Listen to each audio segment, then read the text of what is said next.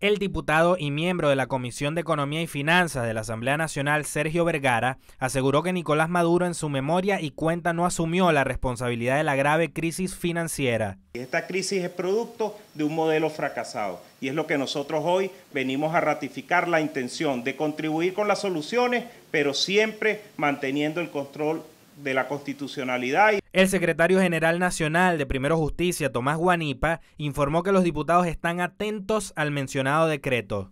Nosotros nos declaramos en sesión permanente como organización política, como unidad democrática, para abrir un debate frente al país sobre las consecuencias que pudiera tener este decreto de emergencia económica y sobre las acciones verdaderas que hay que tomar en un país donde tengamos verdadero interés de resolver los problemas de los venezolanos. Israel Camero, secretario general de Políticas Públicas de Un Nuevo Tiempo, destacó que la directiva del Banco Central de Venezuela presentó un informe incompleto, tardío y evasivo.